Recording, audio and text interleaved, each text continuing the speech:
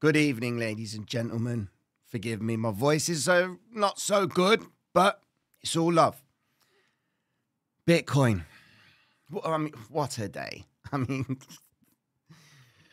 retail's back. That's why price is dropping because they're buying, and that's not retail.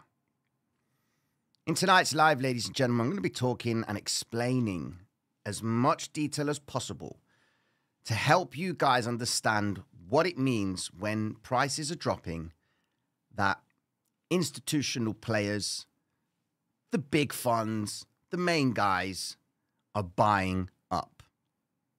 You've always got to ask yourself, how is it that price can continue to go down and then all of a sudden it instantly reverses? Is it because it's managed to come up with a fantastic reversal courtesy of the MACDs or whatever indicators anybody uses?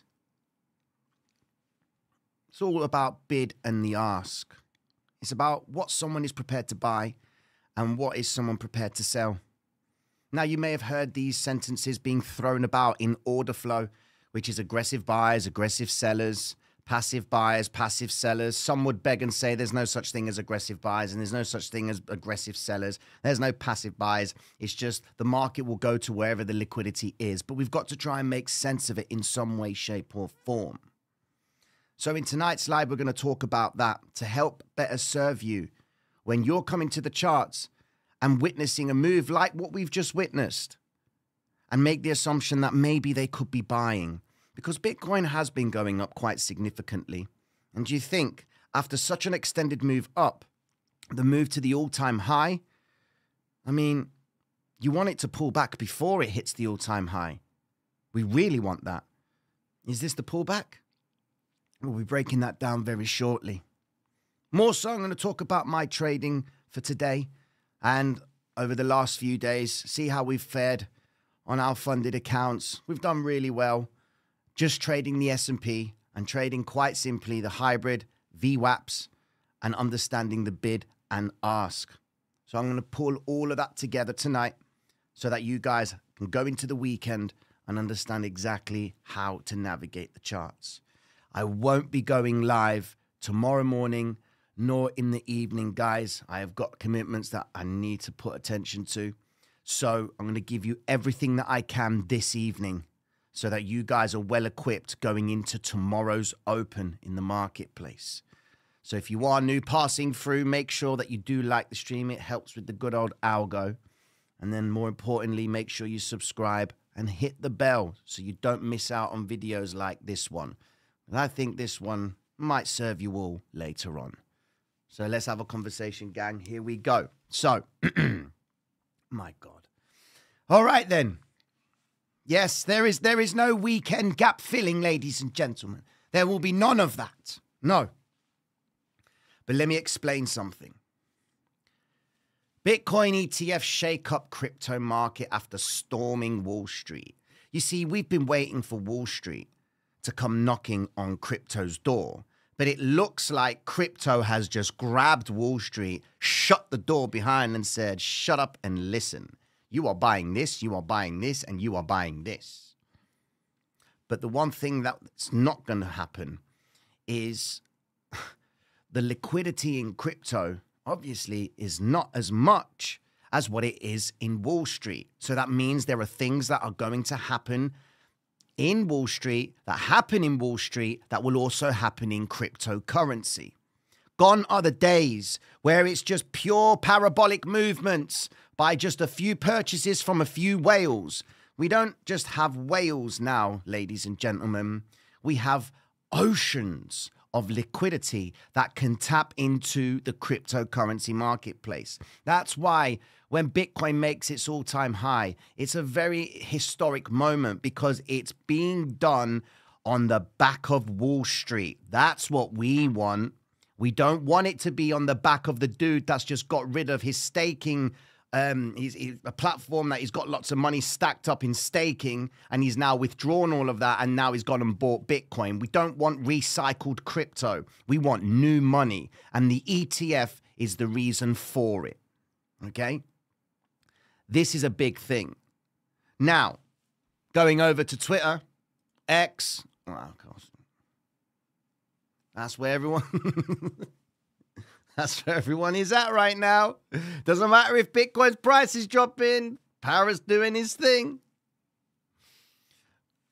SHIB is starting to grab a little bit of attention. Okay, they've just had uh, what appears to be gains of smart contract functionality as SHIB prices surge. All right, so we've got things changing inside of the SHIB game. I know a lot of whales are picking up SHIB, so this could be a good thing for it. You've got VET coming up in the trends as well. Going in, of course, we spoke about this earlier on. And then, yeah, we spoke about this one earlier on. But what I wanted to touch up on was the fact that we are right now waiting for that support mechanism for the ETF to come into play. That's it. Now, going over into the ETF, we just have a quick look at that for anybody wanting to know about the ETF itself. Right now, we're at the high of $35. So that's good news. We did have a high today of around 36. So, and it's still up 2%. So that's very good for the actual ETF going back into the ETF accumulation. So we're looking at it right now. BlackRock is still sat with that nice little 8.6 billion. So their portfolio value has done very well. Grayscale's taken a little bit of a stab from today's high. It was up nearly $1 billion. So that's not bad. But it looks like there is accumulation on the ETF itself. So if I just zoom down, you can see last four hours ago, ARK has been getting busy picking up some Bitcoin and selling it. All right, so there's always going to be this transactional movement. We've seen Grayscale sell as well, 734 Bitcoin. But listen, the thing you've got to understand is this they're selling the Bitcoin, then they will buy the Bitcoin, they'll sell it and buy it, and that's what's going to keep on happening. Okay, but they'll be buying it at different prices. Now, of course, earlier on, we were talking about the idea that the miners are still selling. And then we go over to Bitcoin's price action. Oh, this is Ethereum's. And we can see Bitcoin. I mean, come on. Has it really dropped? No. Bitcoin hasn't dropped at all. This is nothing. This is the test of the 50 EMA. So, those of you who are in the game of the patterns and you are looking for specific structures, the idea is that we've got the rise and we've got a move to the upside, then we've got the retrace. This retrace is going to be the proof of the move to effectively lead towards the continuation to the upside. Okay? That's what we're gunning for. And something that you want to be paying close attention to, ladies and gentlemen, is this area right here. This is a very important point in the chart for Bitcoin. All right? In terms of support and resistance, you've got to consider that this area here is also important for Bitcoin. Structurally, when we draw it on the chart, we assume the idea that Bitcoin is going to be holding inside of these zones. And we are going into the weekend, but more importantly, we are going into what is considered the final one hour and 49 minutes of the monthly candle. Oh my days, a green vector candle. But Tino, what if they recover the green vector candle? What if they do? And guess what? It will be fine. How likely are they going to recover all of the vector candle? Well, this is where you want to start diving into setting up zones. Okay. Now I'm going to give you this for now so that you can go into the weekend with it and then you'll be able to sustain yourself and not take trades off a whim. Add structure to the way you can approach your trading and focus on how much money you are prepared to lose. If you know how much money you're prepared to lose, then everything else is going to be so much more easier for you to apply and understand, and your mind won't be changed if you already know how much you're going to lose. Because Trading is about the losing. You've got to be really good at losing. I was really, really good at losing a lot. But I cut that and said, you know what? I'm going to try and start losing as little as possible and get really good at it. Okay? That's what we want to focus on. So for my holders right now, looking at the monthly time frame, well, what you really want to do is go over to the daily chart. We have a wonderful violet vector candle. This violet vector candle is kind of giving me a clue as to what is more than likely going to happen. Could this be a stop start? Which means that this is their day where they're accumulating Bitcoin and preparing price and getting ready to make a move up. Okay? The same goes for Ethereum. Ethereum's done sort of that, but we don't have a violet vector candle. But guys, the 5 and 13 EMA on Ethereum has not been violated. I have nothing to worry about. I'm still in that long. Where is it? I'm still in that long on Ethereum. Okay, hasn't it hasn't hit my zone that I'm happy to close out. I'll, I'll, I'll even put a break even in. It doesn't matter to me. Okay, if I can double my money, that's good. I'm I'm done with that. That's cool. So that this area here would effectively double my money down to the 3,257. Okay. And we, we did leave some on the table after the high. It was like what, $4,000, four and a half thousand. Now it's at two seven. That's fine. I'm cool with that. Okay. But Ethereum still got this green vector candle right here. And just look at where it's reversed from in the day. That's the midpoint of the vector candle at 3,313.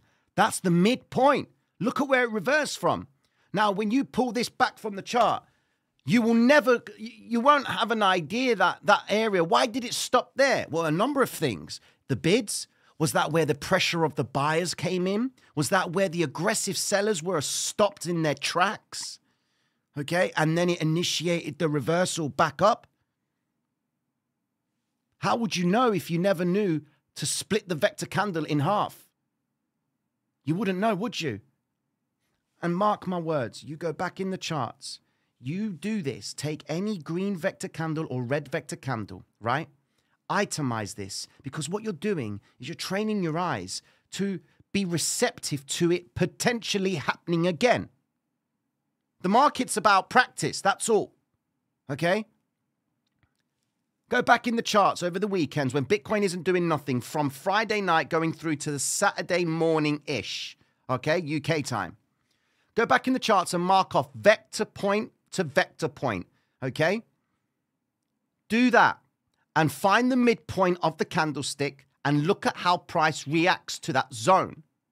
And when you do it enough times, you then come to understand that, hold on a second, man. Next time I see a green vector candle, I, I kind of see what they could do. So what I'm going to do is I'm going to assume that if I've, I found that after going over several candlesticks, I usually see it come down ever so slightly and then it just holds a little bit and then it starts to come back up again.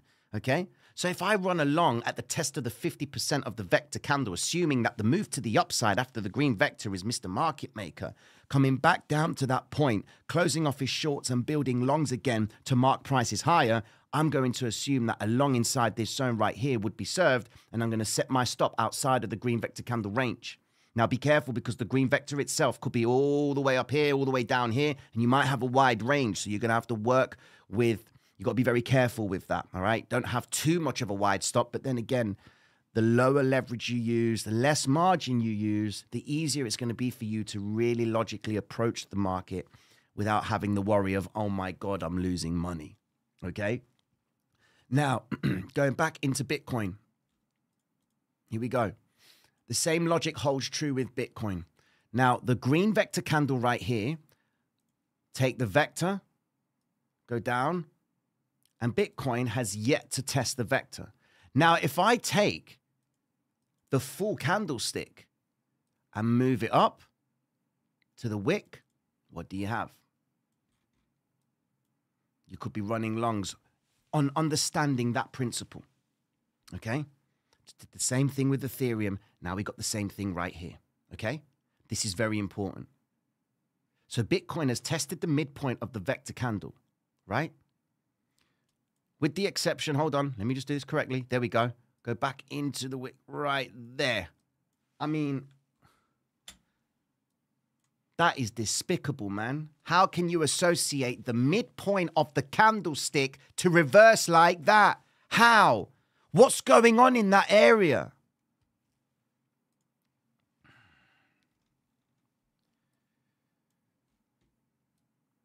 Highest concentration of bids came inside of this area. Now, granted, Bitcoin has been marking lower, and you can see that the offers started to disappear. What do you see more of? This area here. What are you not seeing? What did we say in the live stream earlier on today? We said that if we're not seeing the commitment from the offers, that means that they may be done with selling. And if all these aggressive buyers are coming in, then what happens when they're all trapped in one area? It becomes exhaustive. The market's like, oh my God, I'm buying, I'm buying, and it's not going anywhere. The market naturally has to revert back and go to the next era where it can start transacting again. So that's why you see these pullbacks. And that's why you see high concentration of bids. It's all green. When you start seeing offers coming into play, that's when they're looking to start selling again. So that's when price starts to mark back up. Okay? Now, this area here is the midpoint of the vector candle, right? Stick with me on this. If we go across and look at the same area, which was the midpoint of the vector before Bitcoin started to mark up again, what do we see? Move back. We know that that whole move up is part of a vector. Okay, this is the one hour time frame. Look at this. You see this area here? Lots of bids, lots of bids. Offers start to come in. Look at the reds. Look at the high clusters of reds. They're coming into play. Bid comes in, 6 million to protect. And then it offers out. Big order, 5.38. Off it goes. Another offer, bang, 6.3. Bids come into play. 5 million comes up again, comes down. And then, of course, Bitcoin sweeps back up again. Okay? You're looking for the relationship of the commitment of buyers and sellers at specific points. The faster they're moving price, the more information you're getting about Bitcoin. Okay? Let me give an example, right? Here's my trading week. So it was past nine days on funded accounts. And they even sent me an email saying, well done, what have you. Here's a free t shirt. So I, I get to pick a free t shirt with the funded program. Um, something about top 100 traders in the Apex platform. That's the criteria. And, you know, I've done very well with these guys this week. Okay. So from the 20th, we managed to clear around 41K worth of profits on the funded accounts. We've got today's activities on our funded accounts. We traded four accounts today and we're just shy of around 8,800. I don't even know if you can see that. Here we go. Where is it? Here we are. There's that bit there. Here we go. So 8K today. 8K. And I didn't take 77 trades. This is obviously other accounts as well, but these are the ones that I traded. And so far, decent win rate of 80, 80% eh, eh, after 77 trades. But you don't really want to focus too much on win rate if you're managing your risk correctly. You can have a 35% win rate and still come out on top. All right. So now what I'm going to be doing with these accounts, like I said yesterday, is I'm not going to trade these four accounts. I'm going to trade another four other accounts. And then I'm going to look to withdraw all of these and close off the accounts.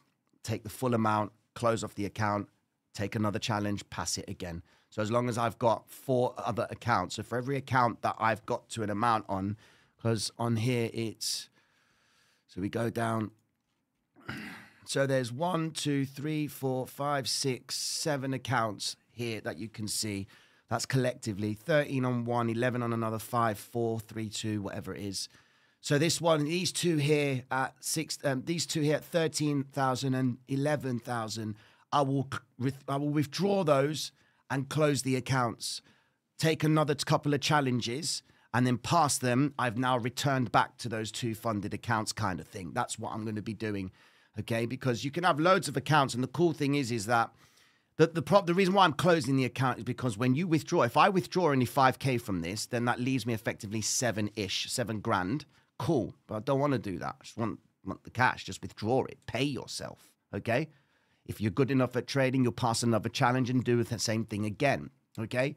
And that's what I do between each account on the funded program. So we did really well this week. But what was I trading? I was trading the S&P and I was trading the logic of the bids and the asks, which puts us in this situation.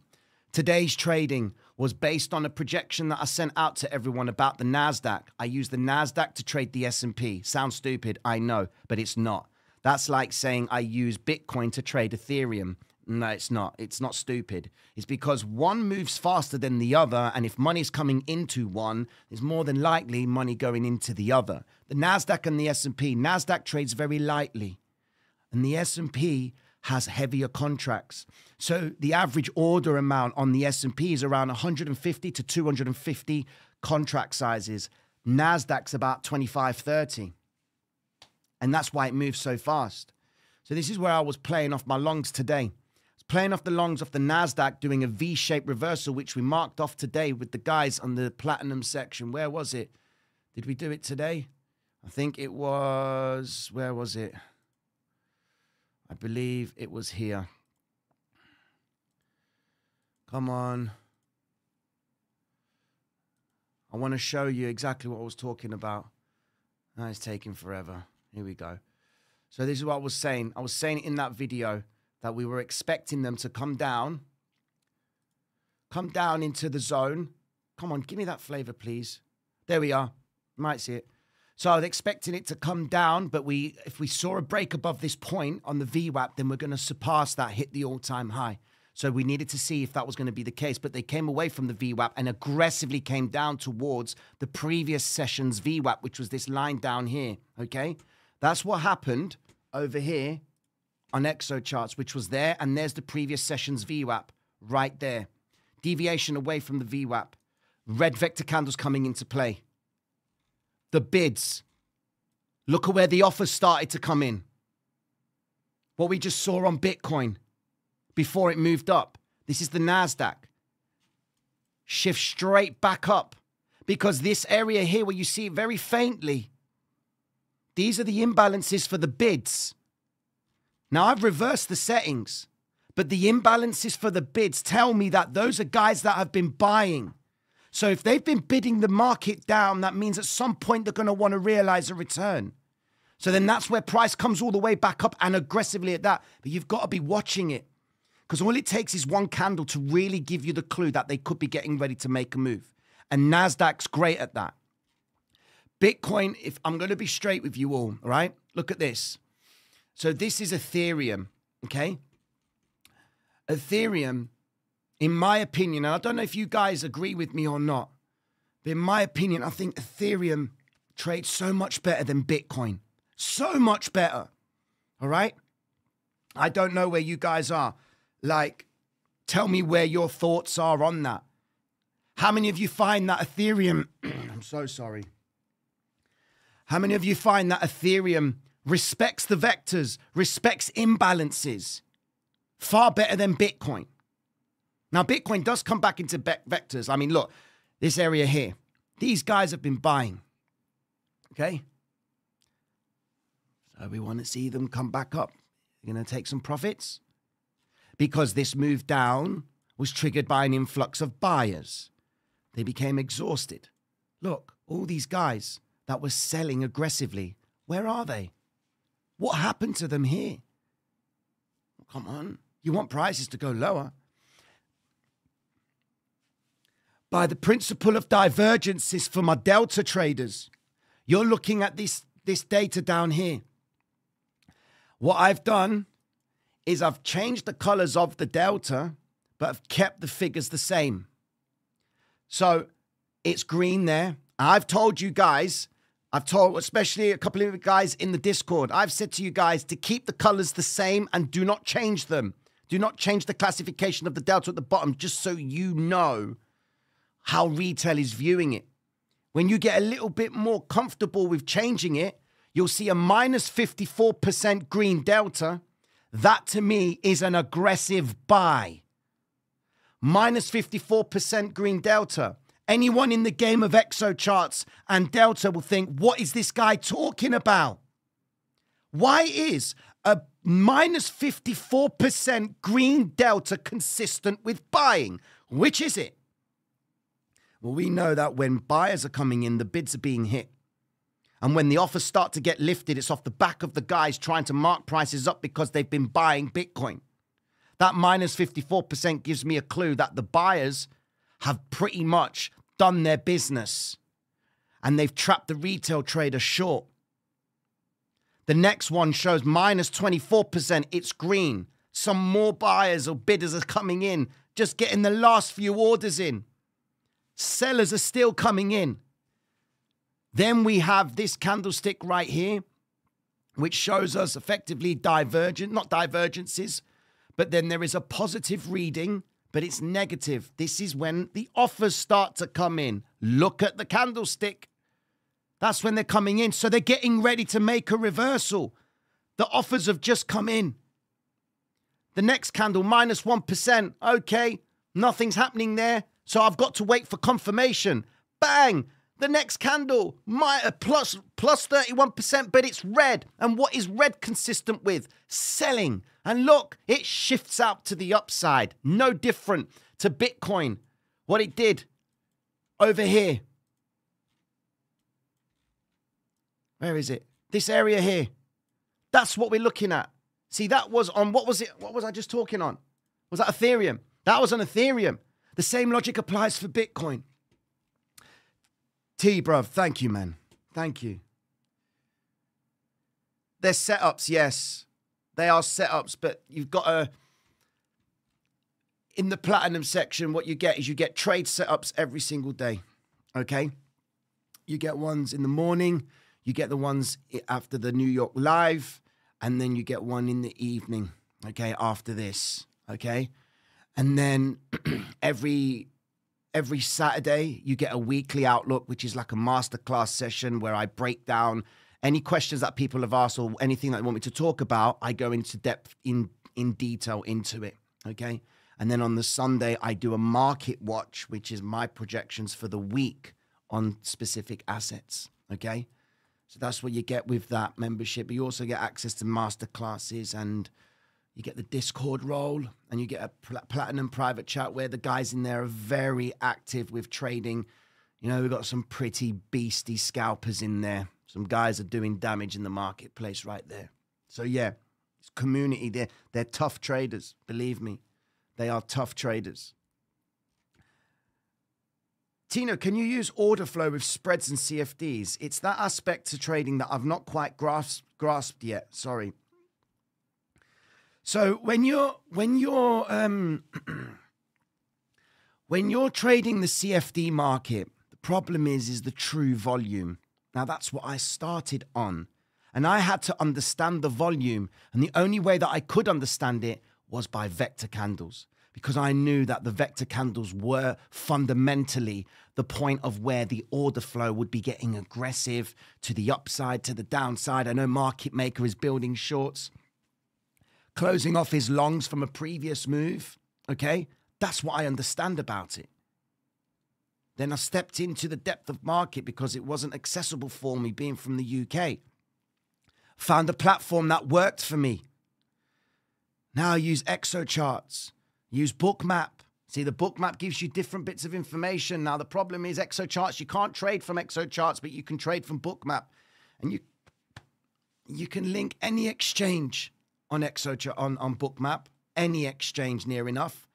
Binance, Bybit, Binance US, Coinbase, Phemex, and you can also put requests in for a special exchange if they do have the API key, but you can take trades off it.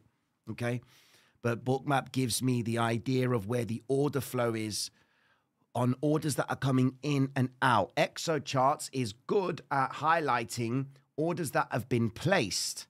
Okay, so I know here that's an order that's been hit in the marketplace. That's good news for me. Okay, I need that information. I go over to Bitcoin. Sorry, yo, my voice is so bad. My voice is so bad. Give me a second.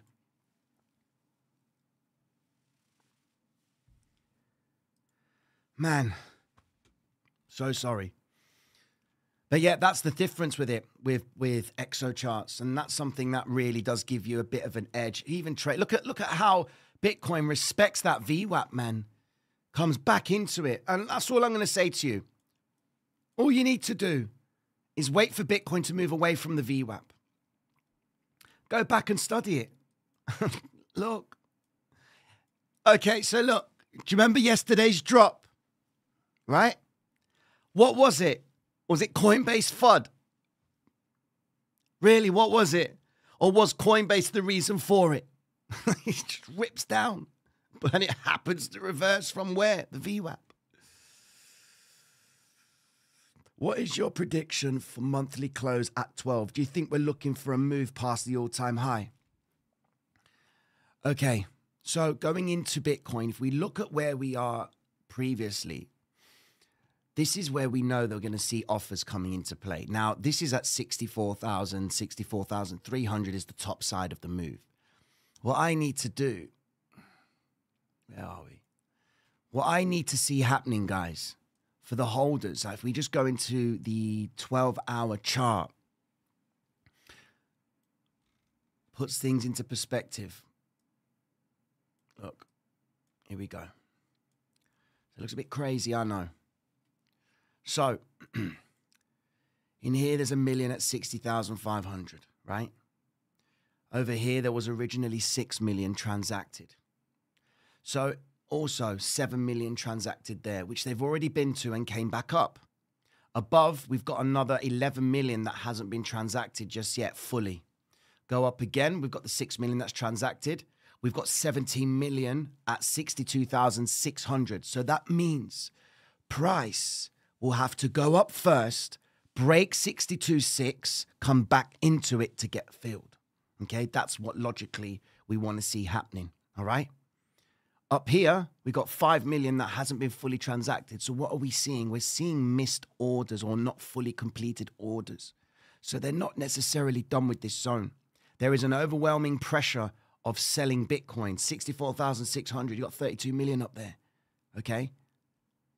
Go even higher. You got another 16 at 66. Keep on going. You got 6 million up there. Keep going. 6.75. Up here, you got 8. Up here, you got 30 at 69,540. Up here, you got 27 million at 70,216. Keep going. 19 million at 73,000, nearly 74,000.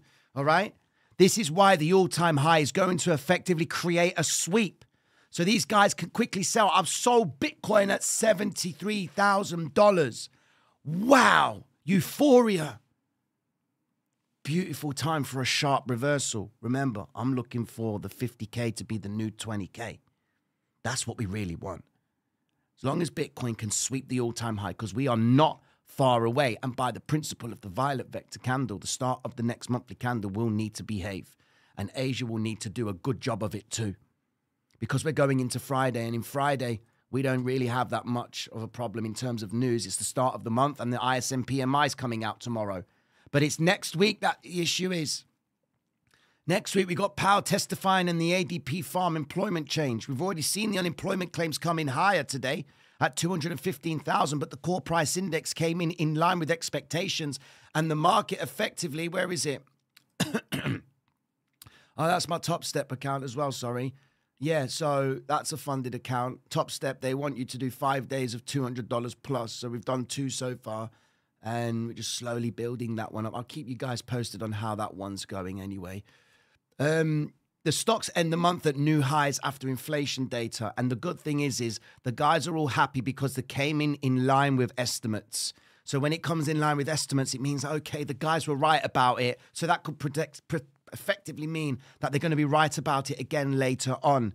But the idea of the Fed cutting the interest rates maybe in June is what prices are effectively going to be pricing in very soon, which is why you're seeing the Nasdaq and the S&P pulling back ever so slightly, okay? So it all relies on Bitcoin inside of this area. The midpoint of the vector candle right here at 60,383 is a critical point for Bitcoin. Because if it continues to go down in the next hour and 24 minutes, then the start of the next month will effectively bring Bitcoin down. But guess what, man? Unless it breaks the 5 and 13 EMA, because look at this. Now remember, this will change. Okay?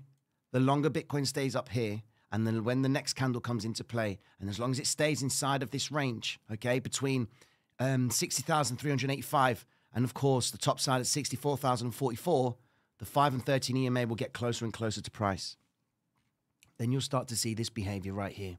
So if I zoom in, you'll see this. When the EMAs contract, they're laggard. But when they contract, you can make sense of whether or not the next move is going to be favorable to the upside or to the downside. As long as they stay in line of the contraction of the moving averages, then logic would say that even if Bitcoin were to come down towards this point here, the 5 and 13 EMA would find themselves in a compression right here. Logic would say momentum slowed down. So now we've got a range, and we're going to wait for Bitcoin to try and surpass, retrace, continuation out. Okay. Uh,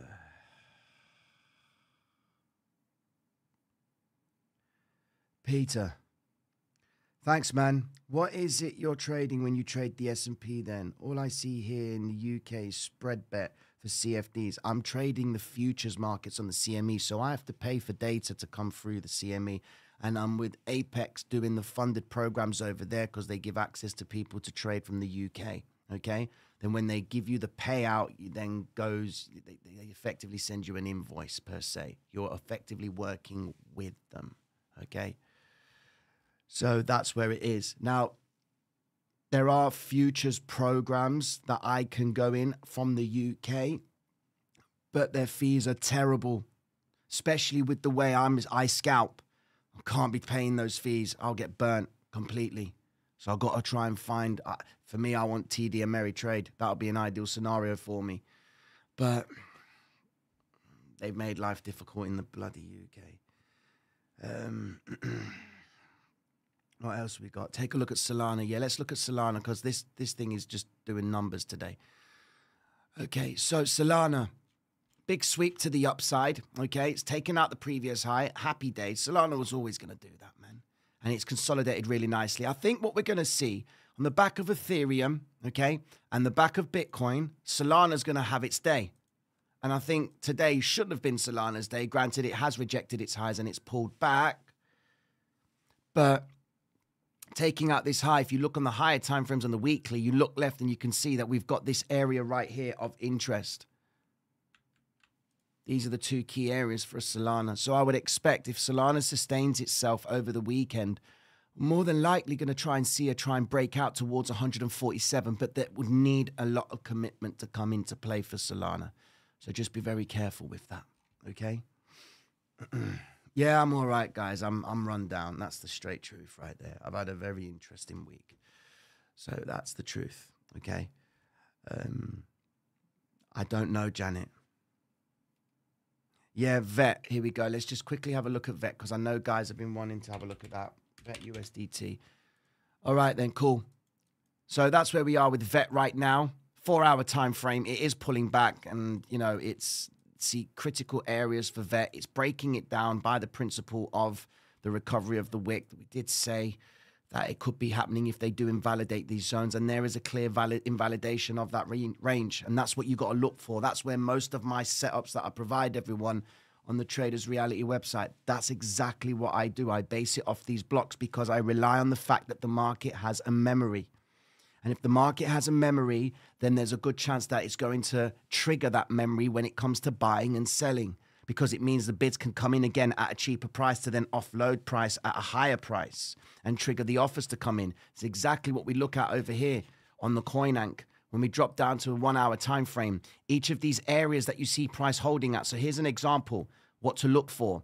You see this area here, 11 million got transacted and it was 116% over. So that means 16% more value was exchanged at that point. So the next time you see price make a move to the upside after it's aggressively hit the offers, which is this red stuff here, look, they were selling 403 Bitcoin. The original amount was 5.89 million. 27 million got transacted. 359% increase. That means people came in, quickly sold. Okay. Look at it. Rise, retrace, continuation out. What is the rise, retrace, continuation? Well, the rise is the offers, 27 million of them. Okay.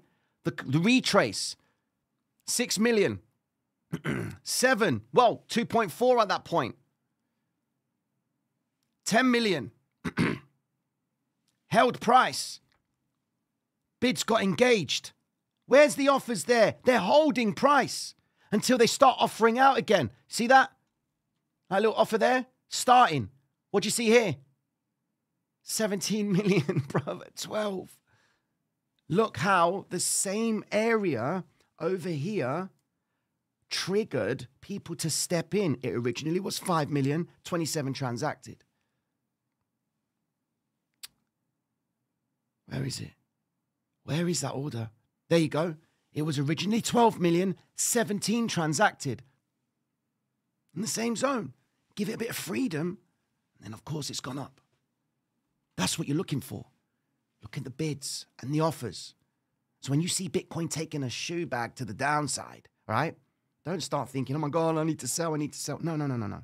Unless Bitcoin starts to move so aggressively to the downside, I'm talking aggressively at speeds like, I mean, yesterday was just a typical example how fast they move price down. But usually when you see that happening and they're going to start bouncing back up again, it, it was a quick liquidity one.